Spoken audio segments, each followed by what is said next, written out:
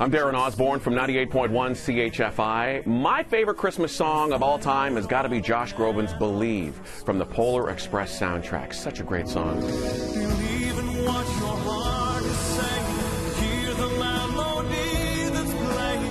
There's no time to waste.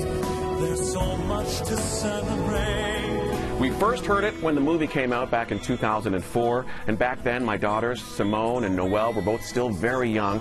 And the movie gave me all those feels, as you remember, right? And my girls, who had never seen that side of me before, I remember them turning to me and saying, Daddy, what's wrong? Are you, are you crying?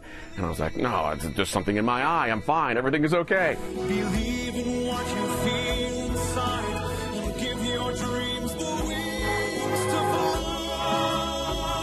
Believe was nominated for Best Original Song at the 77th Academy Awards in February of 2005. Josh Groban and Beyonce performed it during the live show. Now, they didn't win the award, but the song and the movie have gone on to become instant Christmas classics. You can even ride the Polar Express in real life now, just outside Toronto. For City News and 98.1 CHFI, I'm Darren Osborne.